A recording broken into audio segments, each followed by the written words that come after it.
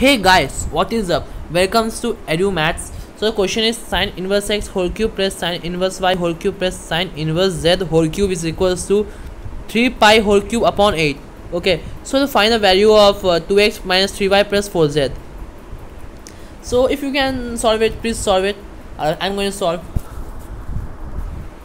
So uh, it's given that 3 pi by 8, isn't it? Let's change the pen ink. 3 pi by 8, 8, 3 pi cube by 8 which is equals to 3 pi by 2 whole cube isn't it? So uh, we know the maximum value of uh, sine inverse of anything is pi by 2 okay max of sine inverse of x is equal to pi by 2 isn't it? So so in this case uh, as there is 3 pi by 2 which is uh, pi plus pi plus pi means pi by 2 plus pi by 2 plus pi by 2 plus pi by 2 is equals to 3 pi by 2 isn't it? Okay. So uh, so the value of sine x will be pi by 2 so sine inverse x will be pi by 2 okay. Similarly for sine inverse y.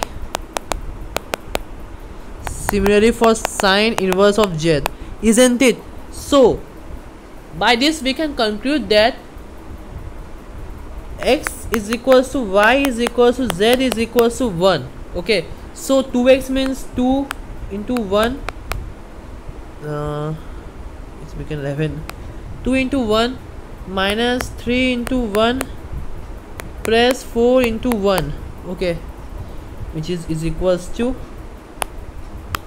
3 so a is the answer.